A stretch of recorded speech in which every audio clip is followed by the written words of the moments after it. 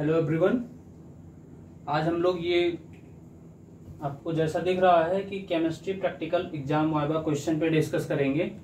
और क्षमा चाहते हैं कुछ लोगों का प्रैक्टिकल एग्जाम मतलब सुबह में हो सकता है ये वीडियो आपको थोड़ा लेट मिले ठीक है तो प्रॉब्लम ये थी कि मैं एग्ज़ाम के सिलसिले में मैं बाहर गया हुआ था तो एग्ज़ाम था तो इस वजह से मैं वीडियो नहीं बना पाया मैं उस लेट के लिए मैं क्षमा चाहूँगा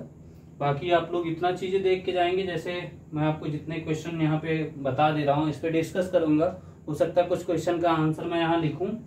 तो उस चीज़ को आप देख के जाइएगा और एग्ज़ाम टाइम में कोई ऐसा आप सामान या उपकरण मत लेके जाइएगा जिसकी वजह से क्या होता है कि अगर वहाँ पकड़े जाएंगे तो सीधे क्या होता है वाई होता है वाई का मतलब आपका ईयर बैग होगा रिस्टिकेट कर दिए जाएंगे तो इसलिए पहले मैं आपको सजेस्ट कर दे रहा हूँ जब तक ये वीडियो आप देख रहे होंगे हो सकता है एग्जाम के पहले जाते जाते आप ये मेरा वीडियो देख देख के जाएंगे तो आपको बस यही बताना चाह रहे थे बाकी आपको ये ध्यान देना है कि मतलब जो भी क्वेश्चन मैं यहाँ पे आपको करा रहा हूँ इसको अच्छे से करके जाइएगा बाकी एग्जामिनर के बारे में किसी को नहीं पता होता है इवन मुझे भी नहीं पता होता है कि भाई उसके दिमाग में चल क्या रहा है कुछ भी पूछा जा सकता है बट मैं आपका अपना एक्सपीरियंस बता रहा है मतलब बता रहा हूँ कि मैं इन सब क्वेश्चन से आपसे पूछे जाते हैं ज़्यादातर क्वेश्चन बाकी कुछ ओरली क्वेश्चन भी अब यहाँ पे हमारे पास जगह नहीं है ढेर सारा मतलब मैं सोचा कि 21 क्वेश्चन और 21 क्वेश्चन आपको पता ही कि 21 एक क्या नंबर होता है शुभ नंबर माना जाता है तो बस ऐसे हमने 21 क्वेश्चन ये लिख लिए हैं अब इन सब क्वेश्चन का मैं एक एक का जवाब देते चलता हूँ कुछ का मैं यहाँ पे लिख के आंसर बताऊंगा कुछ का ऐसे ओरली बताऊंगा तो उससे आप सब आपको परेशान होने की कोई ज़रूरत नहीं है तो सबसे पहला क्वेश्चन है कह रहा हार्ट इज टाइट्रेशन टाइट्रेशन क्या होता है तो टाइट्रेशन क्या होता है एक बार मैं आपको हिंदी में बताता हूँ फिर उसको इंग्लिश में बताता हूँ टाइट्रेशन क्या होता है किसी ज्ञात विलयन की सहायता से किसी अज्ञात विलयन सहायता जैसे क्या है किसी ज्ञात विलयन की सहायता से मतलब आपको उसकी स्ट्रेंथ पता हो ठीक है तो आप क्या बताएंगे किसी ज्ञात विलयन की सहायता से किसी अज्ञात विलयन की सांद्रता ज्ञात करते हैं तो उसको हम लोग क्या बोलते हैं पैट्रेशन बोलते हैं या इसी को हिंदी में अनुमापन बोला जाता है और इंग्लिश में क्या बोलेंगे इंग्लिश में बोलेंगे द मेथड ऑफ फाइंडिंग मैं लिख दे रहा हूं यहाँ पे पहला क्वेश्चन का आंसर है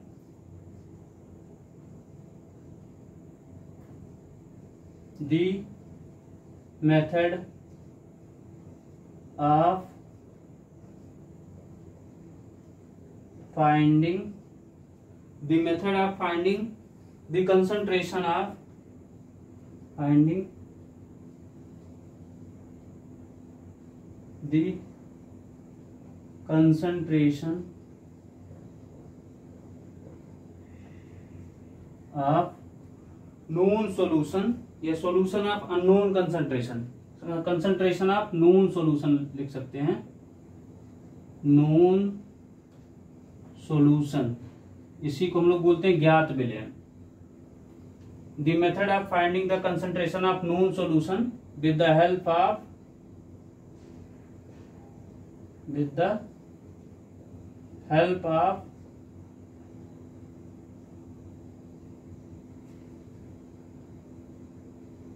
the method of finding the concentration of known solution known नहीं यहाँ पे अननोन होगा क्योंकि आपको अननोन सॉल्यूशन की सान्द्रता आपको ज्ञात करना है यहाँ हो जाएगा unknown solution unknown solution with the help of with the help of concentration of concentration of known solution known solution is called titration या इसी को हम लोग अनुमापन बोलते हैं हिंदी में अनुमापन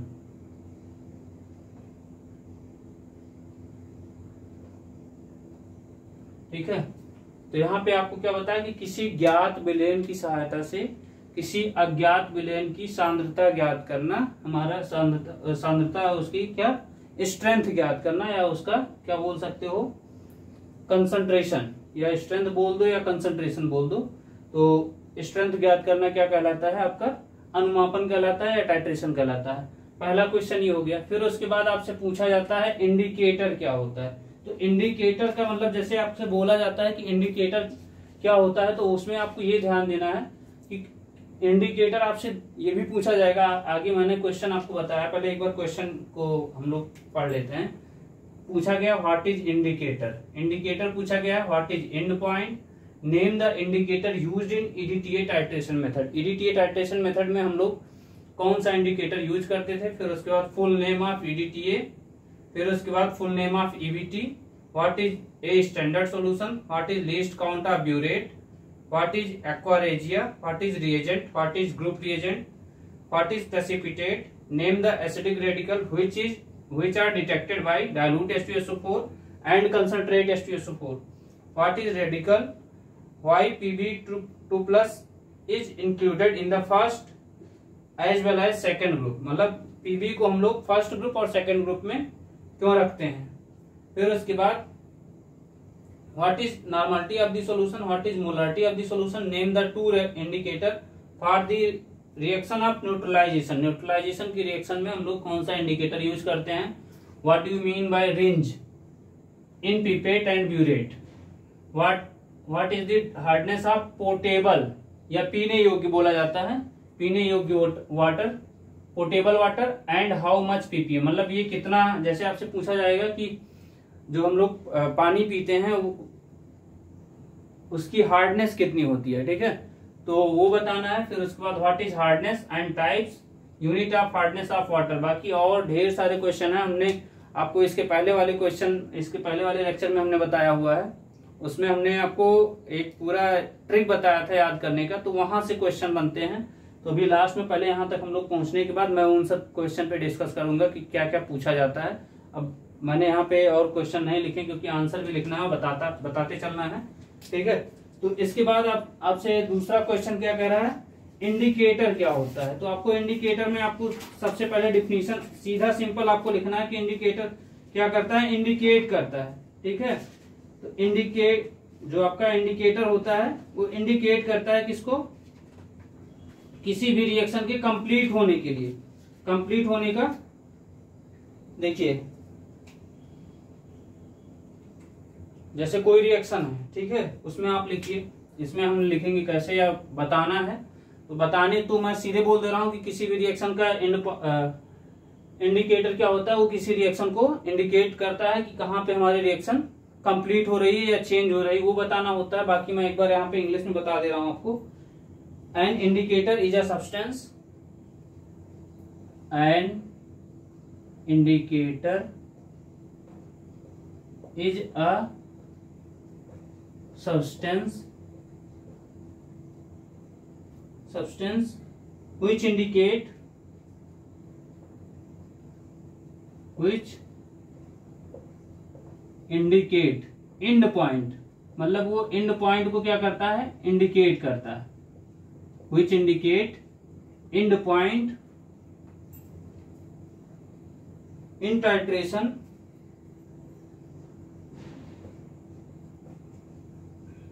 in titration due to change in change in colour due to change in colour of the solution colour due to change in colour of the solution in the reaction in the reaction मतलब किसी भी reaction में क्या करता है ये indicator क्या होता है a substance which indicate the end point in titration due to change in colour of the solution of the reaction या इन द रिएक्शन मतलब किसी भी रिएक्शन में जो कलर सॉल्यूशन का कलर चेंज होता है तो वो किसकी वजह से टाइट्रेशन की वजह से एंड पॉइंट पे उसको हम लोग क्या बोलते हैं इंडिकेट करता है किसको एंड पॉइंट को तो वो क्या कहलाता है हमारा इंडिकेटर कहलाता है फिर इसके बाद आपसे पूछा गया है व्हाट इज एंड पॉइंट तो एंड पॉइंट और इंडिकेटर ये दोनों एक दूसरे के क्या होते हैं पूरक होते हैं पूरक का मतलब अगर इसी का उल्टा हम लोग बोल दें तो ये क्या हो जाता है एंड पॉइंट एंड पॉइंट में भी क्या होता है जहां पे रिएक्शन कंप्लीट होती है जहां पे आपकी रिएक्शन कंप्लीट होती है या न्यूट्रलाइज करता है किसी भी रिएक्शन को उसको हम लोग क्या बोलते हैं एंड पॉइंट बोलते हैं या इसका डिफिनेशन हम लोग कैसे लिखेंगे एंड पॉइंट का the stage during the titration तीसरा क्वेश्चन है the stage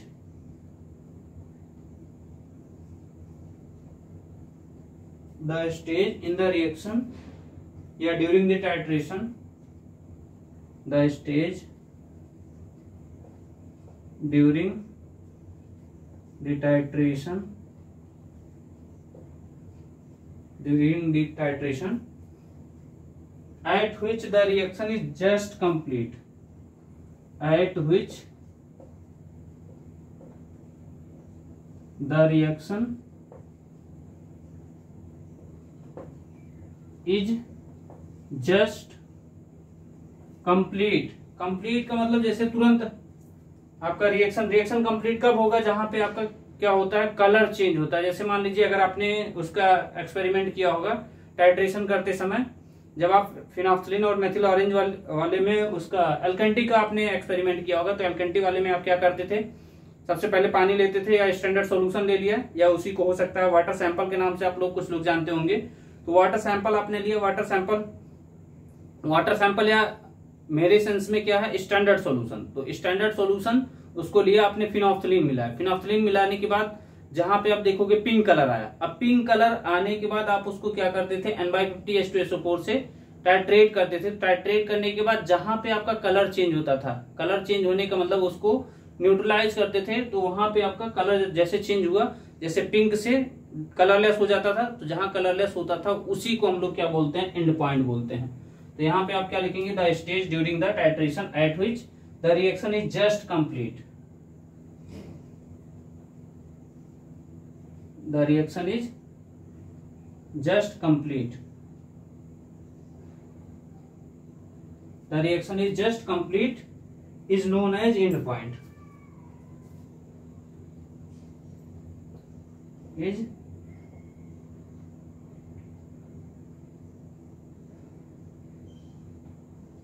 known as end point इसको आप नोट करिए जल्दी से फिर उसके बाद इसको मिटा करके मैं नेक्स्ट क्वेश्चन बताऊंगा या चौथा भी बता दे रहा हूँ कह रहा है name the indicator use in EDTA titration method तो एडीटीएट आइट्रेशन मेथड में हम लोग कौन सा इंडिकेटर यूज करते थे आपको पता होना चाहिए इरियोक्रोम ब्लैक टी ईबीटी आपसे क्वेश्चन ये भी बनेगा कि ईबीटी e का फुल फॉर्म क्या होता है एरियोक्रोम ब्लैक टी बोलते हैं अभी उसका एक क्वेश्चन और बन के आएगा तो मैं उसको बताऊंगा फिर उसके बाद पूछा जाता है ईडीटीए e का फुल फॉर्म क्या होता है वो भी बताऊंगा पहले इसको जल्दी से नोट करिए क्योंकि अभी यहीं पे मैं आपको एक क्वेश्चन से दो दो तीन तीन क्वेश्चन कैसे पुटअप होता है वो बताऊंगा तो इसको जल्दी से नोट कर लीजिए ये इतना फिर मैं आगे बताता हूँ आपको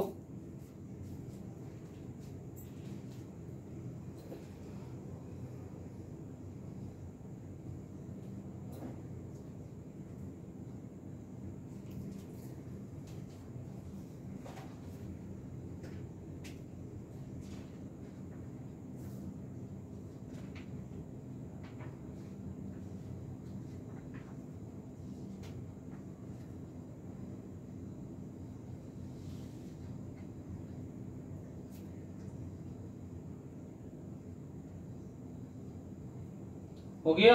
चलिए आगे बढ़ते हैं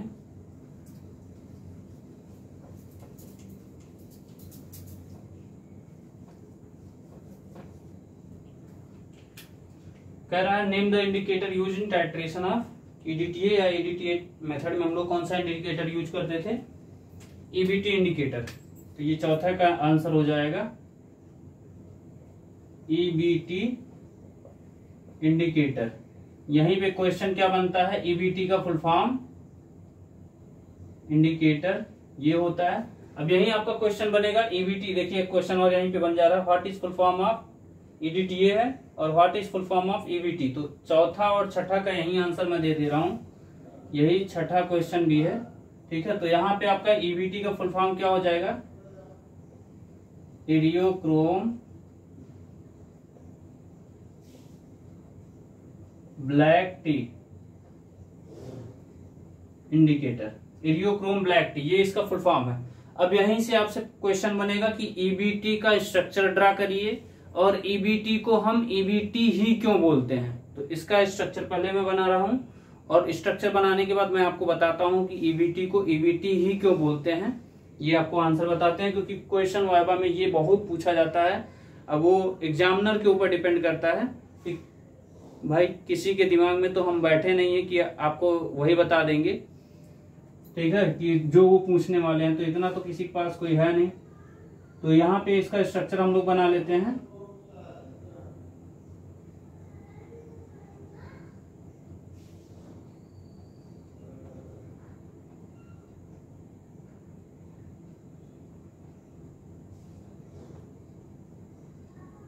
SO3 पहले दो बेंजीन बनाना है फिर इसके बाद यहाँ से देखिए जहां पे SO3 देखिए बहुत लोग गलत बनाते हैं यहाँ बना देते हैं यहाँ से जोड़ देते हैं तो ये गल, गलती मत करिएगा आप SO3 माइनस एन प्लस वाला जहां दिख रहा है उसी के जस्ट नीचे कार्बन वाले को क्या करना है ऐड करना है नाइट्रोजन डबल बॉन्ड से नाइट्रोजन डबल बॉन्ड नाइट्रोजन फिर उसके बाद एक बॉन्ड बनाना है अब दो बेंजीन ऊपर नीचे बना दीजिए और बेंजीन को नाइट्रोजन को कार्बन से जोड़ना है बहुत लोग क्या करते हैं ऐसे बेंजीन बना देंगे और ला करके यहां पे जोड़ रहे हैं तो ये गलत है ये गलत है यहां पे नहीं जोड़ना है कार्बन पे जोड़ना है ठीक है तो इसको ध्यान दीजिएगा ये खतरा है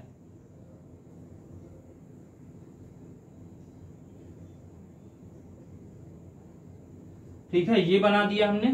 अब ये ध्यान देना है कि यहां से जहां नाइट्रोजन वाला पोजीशन है यहां से इसके आर्थो पोजीशन पे हम लोग क्या लगा दें ओ एच यहां एक लगा दें और यहां से देखिए इसके बगल में ओ एच यहां लगा दें और यहां से चले आइए गिनती आती है आपको एक दो तीन चार मैया जी की जय जयकार तो यहाँ पे एक एनओ टू लगा दीजिए ठीक तो अब आपसे ये ईबीटी e का स्ट्रक्चर है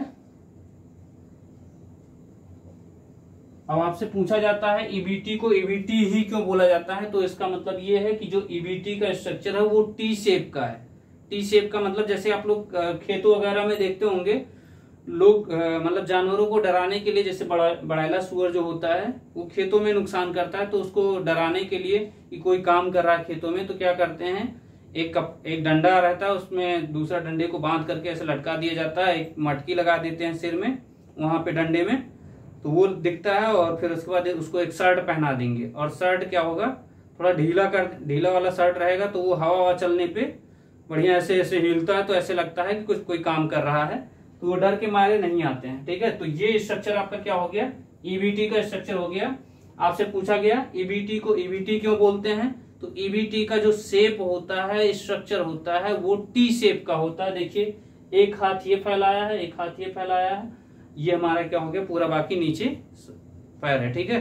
तो ऐसे आपको बताना है कि ये ईवीटी e को ईवीटी e क्यों बोलते हैं ठीक फिर उसके बाद कह रहा है what is the full name of EDTA तो पांचवा क्वेश्चन क्या है ईडीटीए e का पूरा नाम पूछा जाता है ठीक है अब यहीं से मैं दो तीन क्वेश्चन ऐड कर रहा हूं ईवीटी ईडीटीए का full form ethylene diamine tetra acetic acid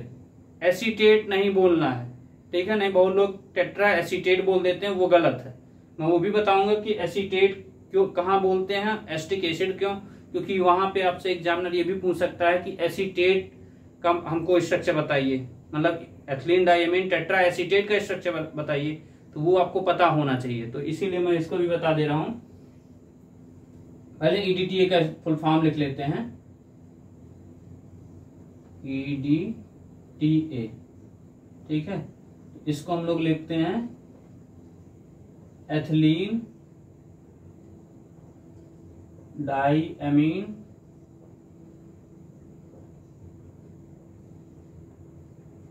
tetra acetic acid अब यही इसी के साथ साथ आपसे पूछ लेता है इसका स्ट्रक्चर भी बनाइए तो स्ट्रक्चर बनाने के लिए C S two single bond C S two N C S two C O O H N C S two C O O H ऐसे ही इधर जोड़ लीजिए नाइट्रोजन के साथ में C H two C O O H C H two C O O H ये EDTA e का स्ट्रक्चर हो गया ईडीटीए e ठीक है अब यहीं पे आपसे पूछ लेता है कि di sodium salt of EDTA का स्ट्रक्चर बनाइए तो di sodium salt of EDTA का स्ट्रक्चर अब ऐसे एक बार ध्यान दीजिए ईडीटीए e एथिलीन ये हो गया और नाइट्रोजन ये एनएच थ्री टाइप का है देखिए N H H H NSC type का एनएससी को हम लोग क्या बोलते हैं एमीन तो एथलीन दो एमीन है तो डाई और ये क्या है एसेटिक एसिड है तो टेट एक दो तीन चार मैया जी की जय जयकार इसका मतलब ये है एक दो तीन चार मतलब टेट्रा और टेट्रा और ये क्या है एसिटिक एसिड है तो ethylene diamine tetra acetic acid अगर आपसे पूछ लिया डाई सोडियम सॉल्ट आप डी तो di sodium salt of PDTA में क्या करना है सब कुछ सेम रहेगा इसका थोड़ा दूसरे कलर से बना दे रहे हैं रेड कलर से क्योंकि खतरा रहता है भाई लोग गलत बना के चले जाते हैं C S two C S two N C S two C O O N A C S two C O O H यहाँ पे एन से कनेक्ट करेंगे C H two C O O H यहाँ क्या हो जाएगा C H two C O O N A तो ये ध्यान देना है कि यहाँ पे जैसे मान लीजिए जब आप देखते होंगे गांव वगैरह में जिसको डांस वगैरह नहीं आता है तो वो क्या करते हैं ऐसे ऐसे डांस करना शुरू कर देते हैं तो ऐसे ऐसे डांस करने का मतलब भाई कोई ऐसे ऐसे मैच करता है कोई ऐसे ऐसे मैच करता है तो आप कहीं एक पे जैसे ये हाथ दिख रहा है कहीं एक जगह पे यहाँ सोडियम लगा दीजिए और दूसरा ये हाथ दिख रहा है यहाँ सोडियम लगा दीजिए और फिर ऐसे ऐसे डांस करना शुरू कर दीजिए तो ऐसे क्या मतलब है यहाँ एक सोडियम हमने लगाया ठीक और एक यहाँ पे लगाया या आप बोल दीजिए इसी में ट्रांसपोजिशन पे ठीक है तो यहाँ पे आपने लगाया तो ये क्या है di sodium salt of EDTA इसको हम लोग बोलते हैं क्योंकि यहाँ दो सोडियम लगा हुआ है तो di sodium salt of EDTA बोला जाता है इसको एग्जाम में पूछा जाता है मेन एग्जाम में सेमेस्टर एग्जाम में आपके पूछा जाता है di sodium salt of EDTA इसको नोट करिए एक और आपको एसिटेट वाला भी बताऊंगा जल्दी से इसको नोट करिए बस एक सेकंड आपको उसको भी बता दे रहे हैं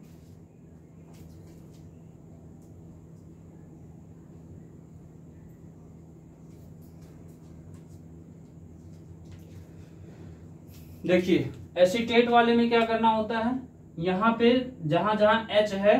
उसको एच को गायब कर दीजिए एच को गायब करने का मतलब जहां जहां एच लगा हुआ है यहां नहीं यहां गायब करोगे कार्बन की बैलेंसी खत्म हो जाएगी यहाँ जो ऑक्सीजन के साथ में जुड़ा हुआ है उसको गायब कर दीजिए एसीटेट बन जाएगा मतलब एसीटेट का मतलब ethylene diamine tetra acetate acidic acid नहीं बोलेंगे तब तो उसका स्ट्रक्चर क्या बनेगा यहां नीचे लिख दे रहा हूं दोस्तों C S two C S two N C S two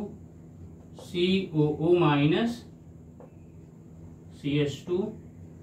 C O O minus N C S two C O O minus C S two C O O minus इसको बोलते हैं एथिलीन डायमीन टेट्राएस्टिक एसीटेट बोलते हैं ethylene diamine tetra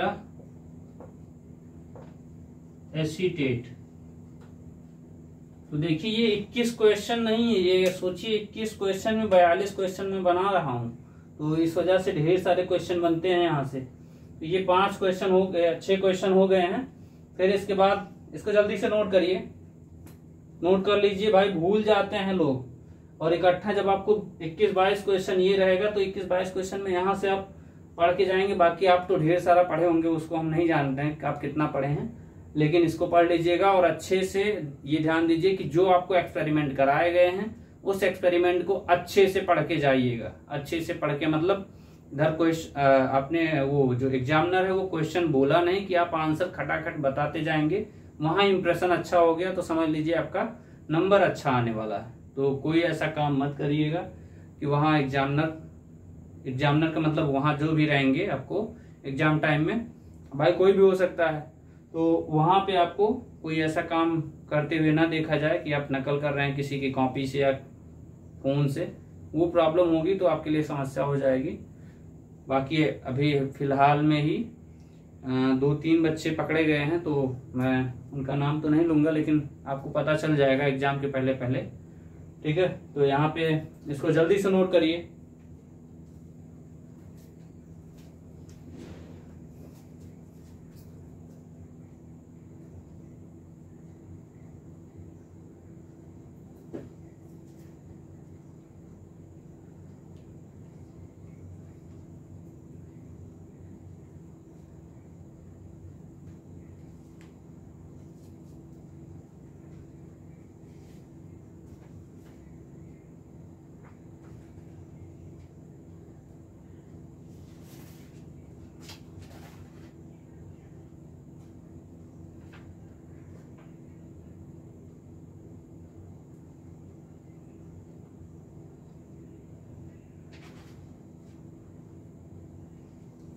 हो गया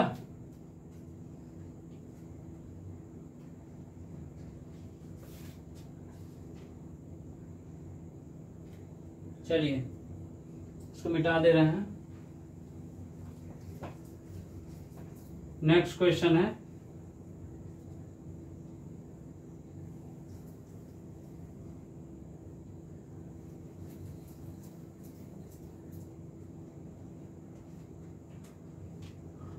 what is standard solution देखिए standard solution का मतलब ये है कि आपको उसकी स्ट्रेंथ पता होनी चाहिए जैसे नून कोई भी सॉल्यूशन है उसकी हमको क्या हो सॉल्यूशन की स्ट्रेंथ पता हो जब स्ट्रेंथ आपको पता रहेगा तो आप उसको बताएंगे स्टैंडर्ड सॉल्यूशन कोई भी जैसे अभी मान लीजिए आपका स्टैंडर्ड सॉल्यूशन आप कैल्शियम कार्बोनेट का बनाते हैं तो उसमें आपको उसकी मात्रा पता होती है कि हमने एक लीटर सोल्यूशन में आपको एक ग्राम कैल्शियम कार्बोनेट को घोलना है तो यहाँ पे आपको इसकी स्ट्रेंथ पता है कि एक लीटर सॉल्यूशन में कितना घोलना है एक ग्राम कैल्शियम कार्बोनेट तो वही क्या कहलाती है स्टैंडर्ड सॉल्यूशन कहलाता है ठीक है तो यहाँ कहिए तो मैं लिख दे रहा हूं स्टैंडर्ड सोल्यूशन चलिए ए सोल्यूशन हुज स्ट्रेंथ कौन सा क्वेश्चन था सातवा a solution whose strength is known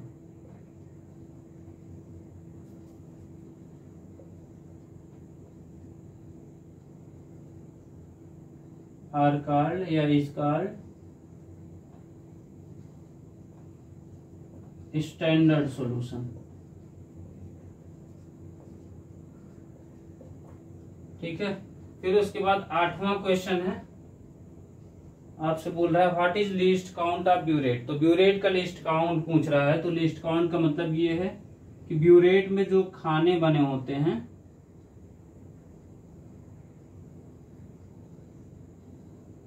ये आपका ब्यूरेट है ऐसे करके बने रहते हैं दस खाने बने होते हैं यहां तो एग्जैक्टली exactly नहीं लिखा रहा है दिख रहा है आपको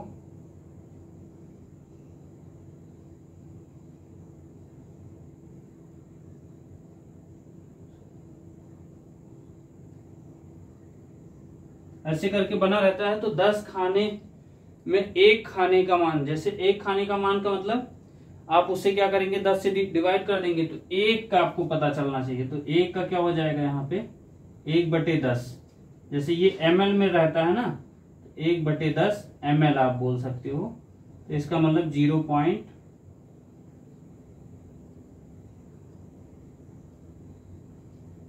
वन एम या इसी को आप बोल सकते हो one centimetre point one centimetre cube भी बोल सकते हो या आप पॉइंट वन एम एल बोलेंगे ठीक है ये आप बताइएगा उसका least count least count of burette is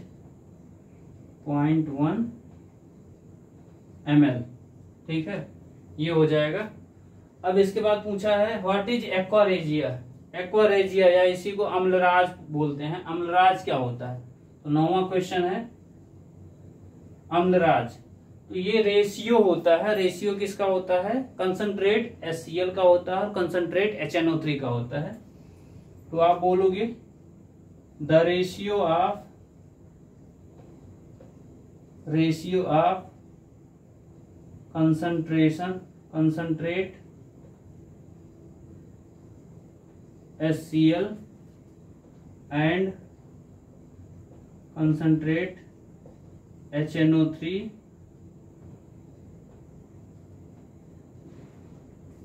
अब रेशियो कितना है the ratio of concentrate S C L and concentrate H N O three ratio कितना होना चाहिए अगर ये थ्री आपका जैसे एम में अगर आप मान के चल रहे हो ठीक है तो थ्री एम और वन एम करके मैं बता दे रहा हूँ या आप जैसे भी मान के चल रहे हो तो रेशियो का मतलब वही चाहे एम में कर लीजिए चाहे कैसे लीटर में करके कर लीजिए तो यहाँ पे जैसे थ्री एम आप ले ले रहे हो three M L S C L ले रहे हो plus one M L H N O three concentrate H N O three तो इसका जो रेशियो होता है इसको हम लोग क्या बोलते हैं एक्वारेजिया इज कॉल्ड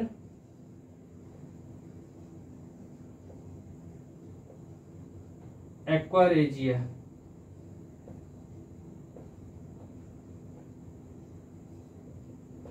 ठीक है the ratio of concentrate S C L and concentrate H N O three तो रेशियो क्या होना चाहिए चाहे इस तरह आप लिख लीजिए या रेशियो हम लोग ऐसे लिखते हैं इसको आप लिख सकते हो थ्री रेशियो वन का थ्री रेशियो वन का मतलब तीन आपका तीन एम मान लीजिए अगर एस है तो एक एम एल नाइट्रिक एसिड होना चाहिए उसको हम लोग क्या बोलते हैं एक्वारेजिया फिर उसके बाद आपका आता है what is reagent and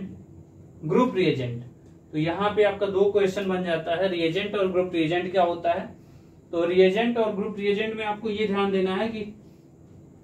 कोई भी क्वेश्चन दिया हुआ जैसे रिएजेंट है तो ये क्या करता है किसी भी आयन या आपका कोई भी जैसे आयन है या आप उसको बोल सकते हो कंपाउंड तो कोई भी कंपाउंड या आयन हो उसमें हम लोग क्या करते हैं सॉल्यूशन में टेस्ट करने के लिए इसका प्रयोग किया जाता है या यूज किया जाता है कि हमारा क्या है एसडिक है कि बेसिक है तो आप इसको यहाँ पे आंसर में क्या लिखेंगे दसवां क्वेश्चन था रिएजेंट क्या होता है तो रिएजेंट में हम लोग लिखेंगे the solution use to test the solution use to test an ion or compound is called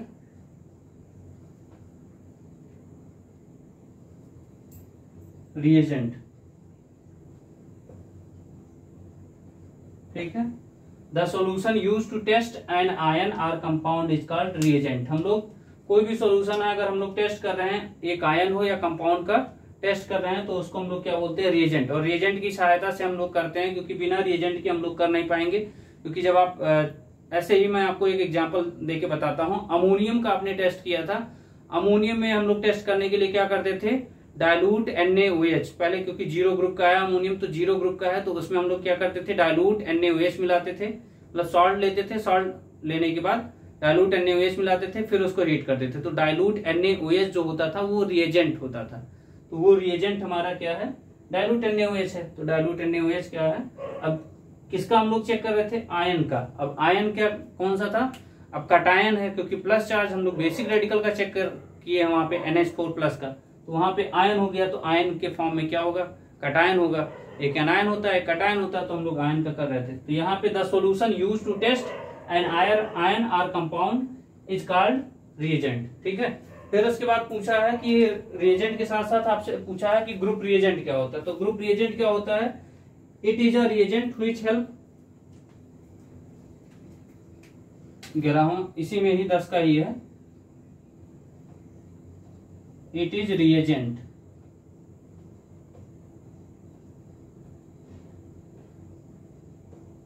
it is reagent which help to identifying it is the it is reagent which help to identifying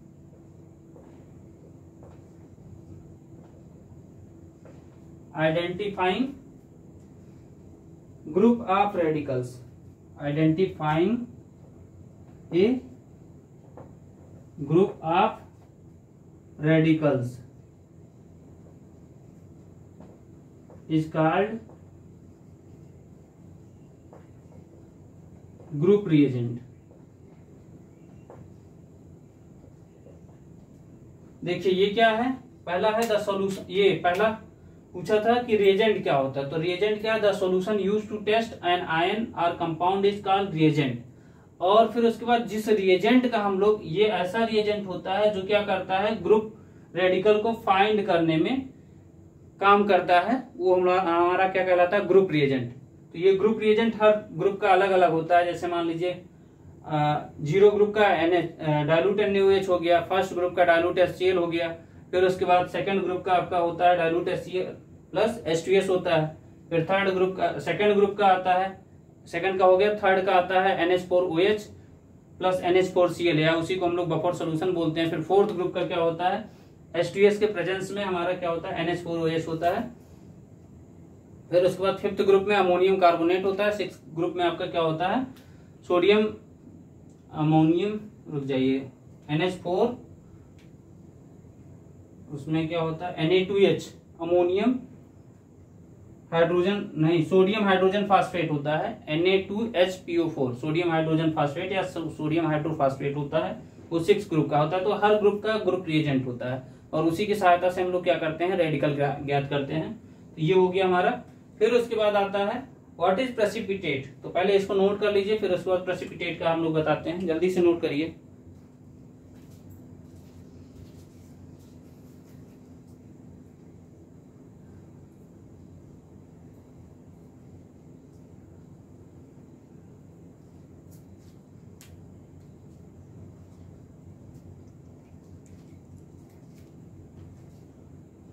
मिटाएं इसको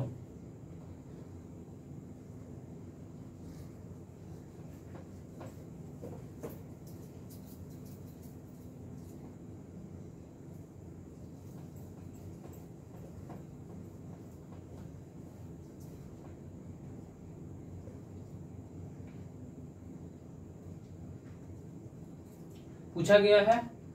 what is precipitate अवक्षेप क्या होता है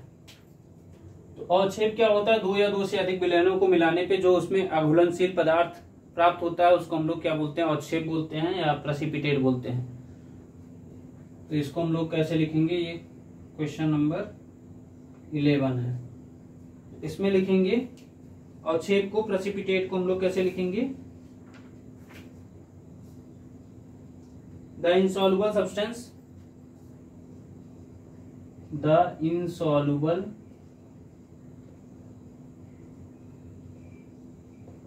substance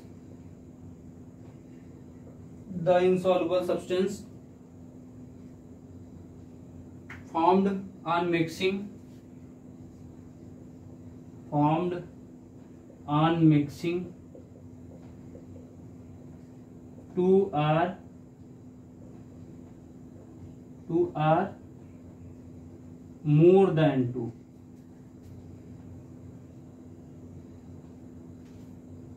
More than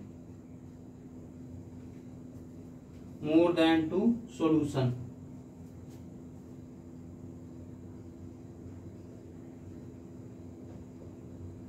Is called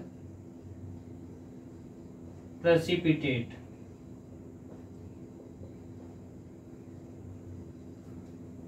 मतलब दो या दो से अधिक सॉल्यूशन को मिलाने पर जो हमको इंसॉल्बल सब्सटेंस मिलता है उसको हम लोग क्या बोलते हैं और छे बोलते हैं फिर उसके बाद कह रहा है नेम द एसिडिक रेडिकल हुई detected by dilute S two H2SO4 and concentrate S H2SO4 तो डायलूट एस H2SO4 से कौन कौन से रेडिकल प्राप्त किया करते हैं और कंसनट्रेट एस H2SO4 से कौन कौन से तो क्वेश्चन नंबर बारह यहाँ मैं लिख दे रहा हूँ डायलूट एस H2SO4 से कौन कौन से प्राप्त किए जाते हैं और concentrate S T S O four से कौन कौन से प्राप्त किए जाते हैं तो dilute S T S O four से आपका होता है कार्बोनेट होता है सल्फाइड होता है C O three two minus S two minus S O three minus NO two minus etc e और भी है ईटीसी e और इसमें क्या हो जाएगा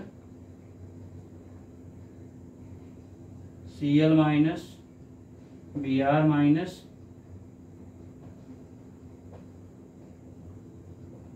I minus फिर उसके बाद आपका है एनओ थ्री माइनस और C S three C O O minus तो ये हमारे concentrate S two S four से निकाले जाते हैं और ये dilute S two S four से फिर उसके बाद क्वेश्चन नंबर थर्टीन आ गया तो व्हाट इज रेडिकल पूछ रहा है तो रेडिकल क्या होता है रेडिकल क्या होता है दो पार्ट से बना होता है ठीक है आप लिख सकते हो question number thirteen the part of the part of salt either positive और निगेटिव चार्ज या आप लिख सकते हो having the part of salt having positive and negative charge is called radical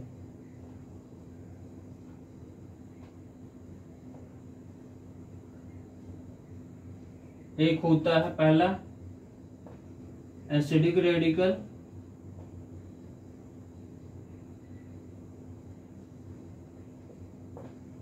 दूसरा होता है बेसिक रेडिकल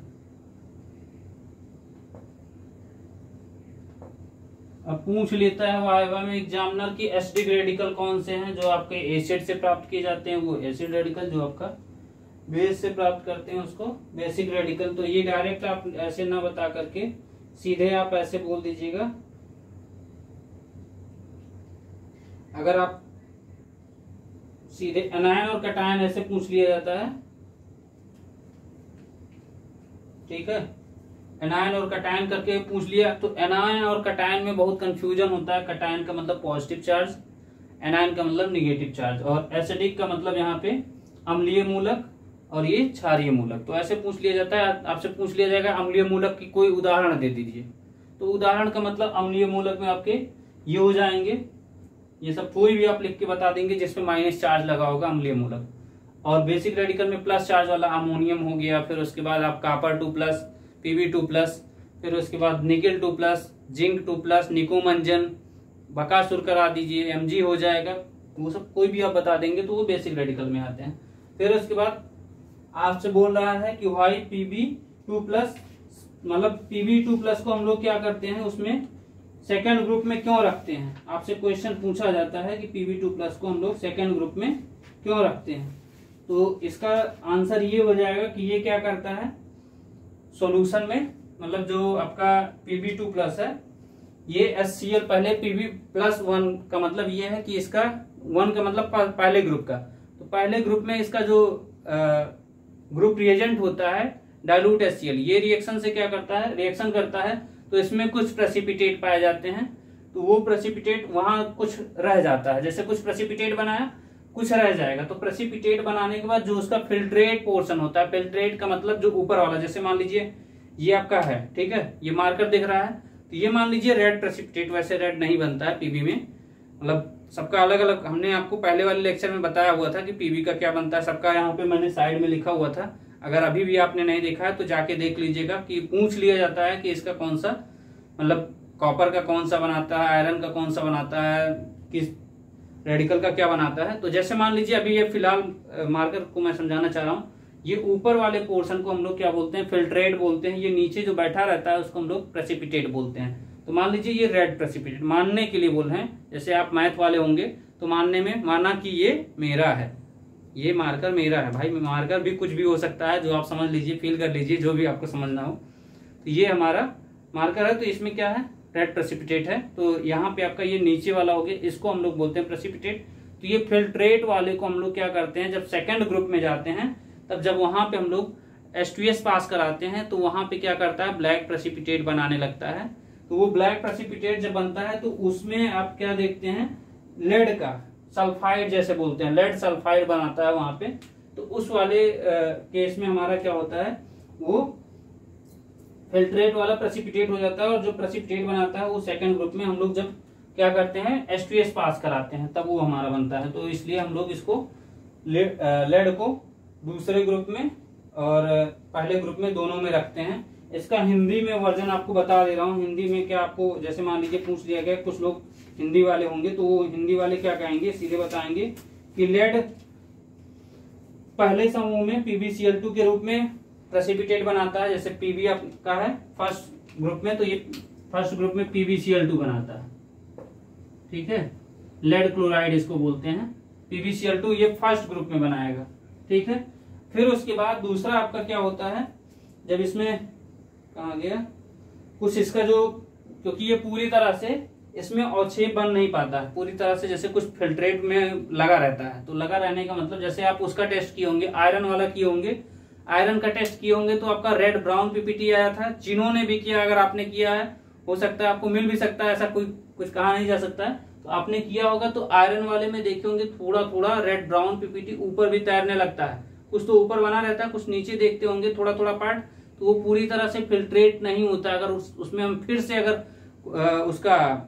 जैसे मान लीजिए आपने फिल्टर कर लिए फिल्टर करने के बाद उसमें कुछ पार्ट बचा है उसमें अगर गलती से फिर हम अमोनियम हाइड्रोक्साइड मिला दें तो फिर से हमारा प्रेसिपिटेट बनना शुरू हो जाएगा तो वही केस यहाँ पे भी होता है यहाँ पे हमारा पीवीसीएल वाले केस में प्रेसिपिटेट बनाता है बट उसमें पूरी तरह से वो बनता नहीं है ठीक है तो ये इसको पूरी तरह से जब ये बनता नहीं है तो इसमें हम लोग क्या करते हैं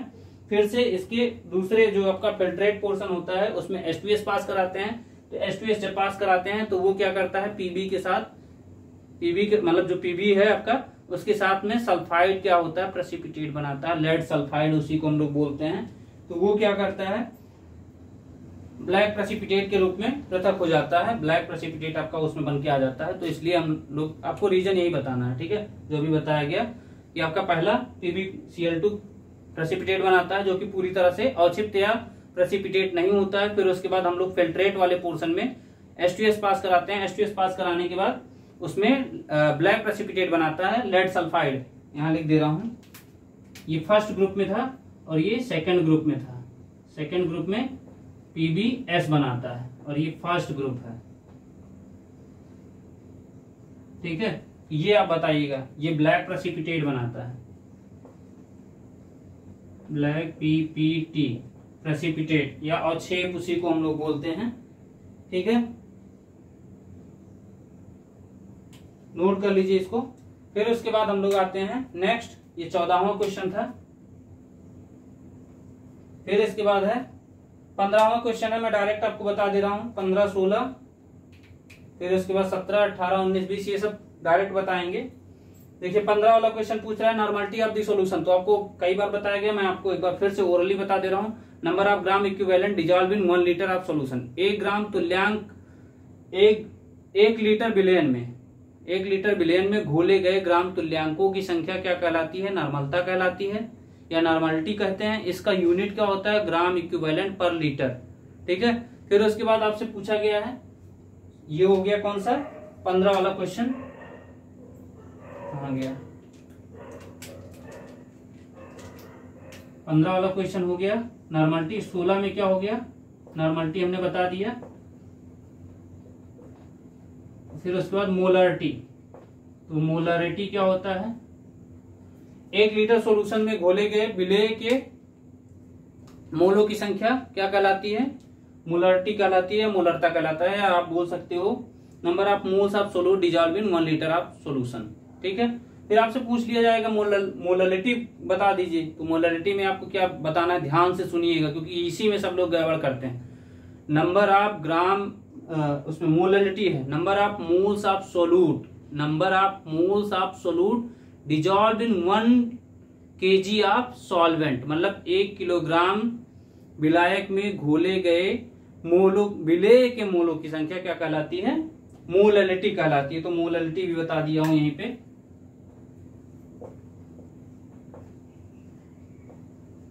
ठीक इसके बाद आपसे पूछा गया है name the two indicator for the reaction of neutralization तो न्यूट्रलाइजेशन में कौन से दो इंडिकेटर यूज होते हैं तो ये आपको बताया गया फिनोफ्थलिन एंड मेथिल ऑरेंज तो इसमें सत्रह वाला क्वेश्चन क्या हो जाएगा फिनॉल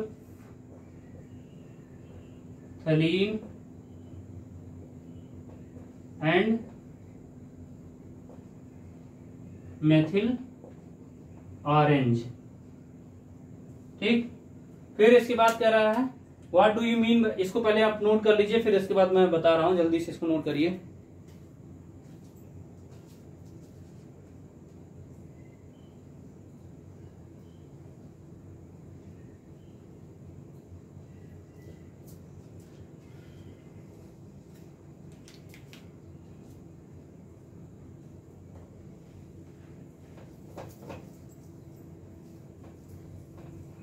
नेक्स्ट है what do you mean by rinse rinse का क्या मतलब होता है तो रिंज का मतलब ये होता है कि जैसे मान लीजिए आपके पास किसमें पूछा है what do you mean by rinse in pipette and burette तो पीपेट और ब्यूरेट में रिंज करने का क्या मतलब होता है जैसे ये आपके पास ब्यूरेट है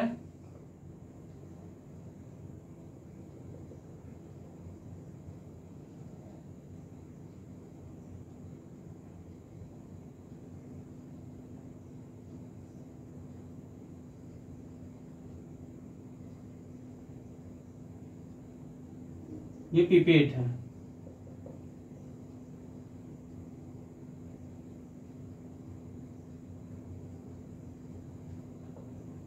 और ये ब्यूरेट हो गया तो इसमें क्या होता है कि जैसे मान लीजिए आपने अगर इसी के सॉल्यूशन से जैसे जैसे इसमें आपने मान लीजिए अगर आप हार्डनेस ऑफ वाटर का कर रहे हैं तो हार्डनेस ऑफ वाटर का आप क्या करते हैं हार्डनेस ऑफ वाटर में ईडीटीए डालते थे और अगर एल्केंटी करते हैं तो वहां पे हम लोग N by fifty H two four डालते थे तो यहाँ पे आप सोल्यूशन क्या करेंगे इसमें डालेंगे तो सोल्यूशन डालने के बाद इसमें पूरी तरह ये किया जाता है कि मान लीजिए अगर आप पानी से करते हैं तो क्या हो जाएगा कि उसकी जो सोल्यूशन की कंसेंट्रेशन होगी इसीलिए इसको हम लोग उसी सोल्यूशन से इसको रेंज करते हैं जो सोल्यूशन इसमें डालना होता है जैसे अगर हम इसमें एस फोर डाल रहे हैं तो एस फोर से ही पूरा इसको बढ़िया से इसमें डाल करके फिर यहाँ जब तक ये पूरी तरह से घुल नहीं जाता घुल नहीं मतलब पूरी तरह से इसमें मिक्स नहीं हो जाता है जैसे मान लीजिए हम ये हमारे पास है अब इसमें हम पूरी तरह से जब तक मिला नहीं लेते हैं तब तक हम लोग क्या करते हैं इसमें डालते रहते हैं जब पूरी तरह से यहाँ मिक्स हो जाता है पूरा सोल्यूशन क्योंकि उससे क्या होता है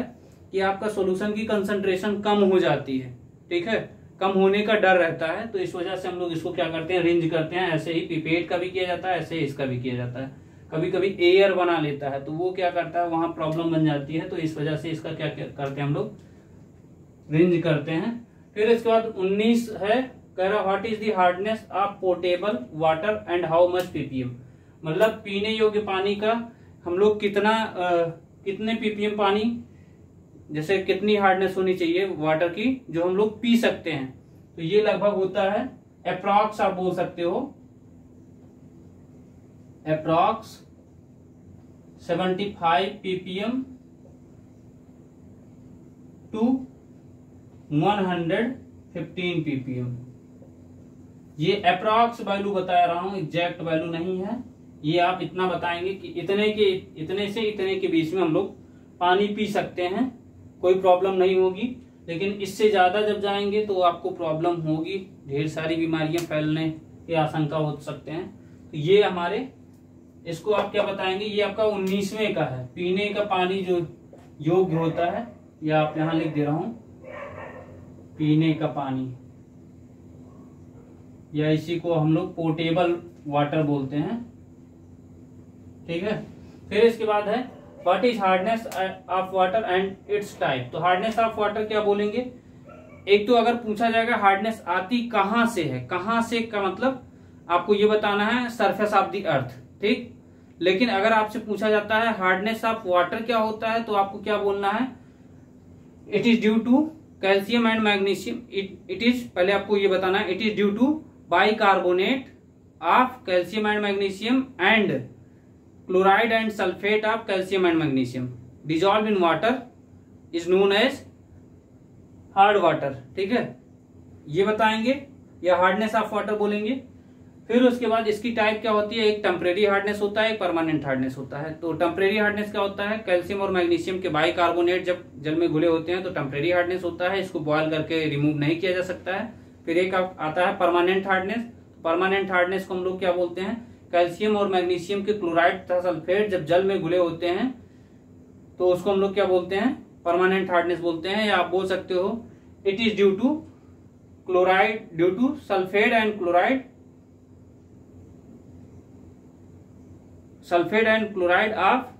calcium and magnesium are both dissolve in water is called permanent hardness तो ये आपका दो टाइप हो गया अब परमानेंट हार्डनेस को हम लोग बॉयल करके रिमूव नहीं कर सकते हैं इसके अन्य मेथड हैं जैसे आपसे पूछ लिया जाएगा कि परमानेंट हार्डनेस को रिमूव करने के लिए कौन कौन से मेथड अपनाए जाएंगे और टेम्प्रेरी हार्डनेस को रिमूव करने के लिए कौन कौन से मेथड अपनाए जाएंगे तो उसमें आपको ये बताना होता है कि टेम्प्रेरी के लिए आपका क्लार्क मेथड है ठीक है और परमानेंट के लिए आपका ion exchange resin process Calgon method zeolite method soda lime method ये चार प्रोसेस होते हैं ये परमानेंट हार्डनेस को भी रिमूव करते हैं ठीक है और आपका लास्ट क्वेश्चन है unit of hardness of water तो यूनिट इसकी क्या होती है एक होता है पीपीएम पहला होता है पीपीएम दूसरा एमजी पर लीटर तीसरा डिग्री फ्रेंच चौथा डिग्री क्लार्क ये आपको बताना होगा और भी क्वेश्चन आपसे बन सकते हैं ढेर सारे ऐसे क्वेश्चन तो आप ज्यादा मत पढ़ के जाइए इतना सफिशियंट है अगर आपके क्वेश्चन में बाकी स्ट्रक्चर वगैरह अच्छे से पढ़ के जाइएगा एक बार आपको दो तीन मैं बता दे रहा हूँ उसको और अच्छे से पढ़ के जाइएगा जो आप अपनी कॉपी में जरूर लिखे रहेंगे सावधानियां आपको बता रहा हूँ रिएक्शन वगैरह जरूर लिखिएगा कोई भी आप एक्सपेरिमेंट लिख रहे हैं कॉपी में तो उसकी जैसे मान लीजिए आपने मिक्सर एनालिसिस का किया डिपेंड करता है वहां पे आपको क्या मिलेगा ये कुछ किसी को नहीं पता होता वो एग्जामिनर बताएगा जैसे मिक्सर एनालिसिस है तो मिक्सर एनालिसिस में दो एसिड रेडिकल दो बेसिक रेडिकल अब दो एसिड रेडिकल में दोनों का आपको क्या करना है वो बताना है कि कौन सा इसका रिएक्शन भी लिखना है रिएक्शन पहले तो आप बताएंगे कैसे कैसे आप किया था आपने उसको पूरा बताओगे उसके साथ साथ उसकी रिएक्शन भी लिखना है रिएक्शन लिखने का मतलब अगर आपने क्लोराइड का टेस्ट किया है तो क्लोराइड का या आपने अमोनियम का टेस्ट किया अमोनियम का या आयरन का टेस्ट किया आयरन का या कार्बोनेट का टेस्ट किया तो कार्बोनेट का तो उसका पूरा आपको रिएक्शन अगर आप लिख देते हैं आपको मार्क्स अच्छे मिलते हैं और वाइबा आपका बारह नंबर का होता है तो हर जगह अलग अलग होता है भाई कहीं यूनिवर्सिटी में अगर आप पढ़ रहे हो तो वहाँ पे अलग वाइबा का मार्क्स होता है अगर आप आईईआरटी e कॉलेज में पढ़ रहे हैं तो वहाँ पे आपका बारह मार्क्स का होता है ठीक है बारह मार्क्स का होता है तो वो बारह मार्क्स आपको लेने के लिए आपको सब क्वेश्चन का आंसर देना पड़ेगा और अच्छा नंबर पाने के लिए आपको क्या करना पड़ेगा अच्छे से एक्सप्लानेशन देना पड़ेगा और अच्छे से कॉपी आपकी लिखी होनी चाहिए लिखी होने का मतलब वहाँ आप करके दिखाएंगे क्योंकि विज्ञान क्या कहता है करके सीखें ठीक है आओ करके सीखें तो करके सीखना है करके दिखाना है वहाँ पे नहीं आओ बताकर सीखे नहीं ये नहीं होता है तो आप ढेर सारा इसको पढ़ के जाइएगा मतलब जितना ये बताया उसको अच्छे से पढ़ लीजिएगा बाकी ढेर सारी शुभकामनाएं और इसके बाद मैं आपको एक आध दो आप देखेंगे हो सकता है पॉलीटेक्निक यूपी पॉलीटेक्निक का एक पेपर सॉल्व कराऊंगा वो आपके पेपर से रिलेट करेगा आ, क्या नाम है जो आपके आईआरटी e से भी क्वेश्चन वो रिलेट करते हैं क्योंकि क्वेश्चन आईआरटी e के क्वेश्चन भी उसमें पेपर में आए हुए हैं तो इसीलिए मैं उस पेपर को करा रहा हूँ और कुछ बच्चों ने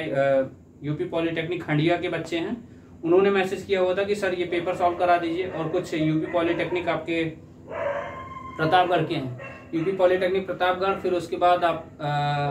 यूपी पॉलीटेक्निक लखनऊ यहाँ के बच्चों ने कुछ ने मैसेज किया था कि सर ये हम लोग का पेपर एक सॉल्व करा दीजिए कम से कम एक करा दीजिए आप ज़्यादा नहीं केवल एक करा दीजिए उससे हमको आइडिया मिल जाएगा तो वो पेपर मैं कराऊंगा तो आप लोगों के ढेर सा आप लोगों के लिए ढेर सारी शुभकामनाएं अच्छे से पेपर करिएगा पेपर करने का मतलब प्रैक्टिकल एग्जाम दीजिएगा और मैं आशा करता हूँ आप लोग अच्छे मार्क्स पाएंगे और ध्यान दीजिएगा कि अगर आप प्रैक्टिकल कर रहे हैं तो प्रैक्टिकल के दौरान में आप लोग आवाज़ जरूर नहीं करेंगे क्योंकि आवाज़ करने से क्या होता है एग्जामिनेशन एग्जामिनर जो होता है वो इरिटेट होता है जब इरिटेट होगा उसको गुस्सा आएगा और जब गुस्सा आएगा तो कहीं और का गुस्सा कहीं और दिखेगा तो वहाँ का गुस्सा आपको वो नहीं दिखाएगा वो तो कहेगा बोल लो जितना बोलना हो वो आपके जब रिजल्ट में लिखना होगा तो वो वहाँ पे समस्या हो जाती है तो ऐसा कोई काम मत करिएगा इसीलिए ठीक है तो ढेर सारी शुभकामनाएं आप सभी को और अगर आपको वीडियो अच्छा लगा हो तो अपने और भी दोस्तों को शेयर कर दीजिए कि भाई वो लोग भी अच्छे से वाइबा के लिए पढ़ लें प्रॉब्लम ना आए thank you thank you so much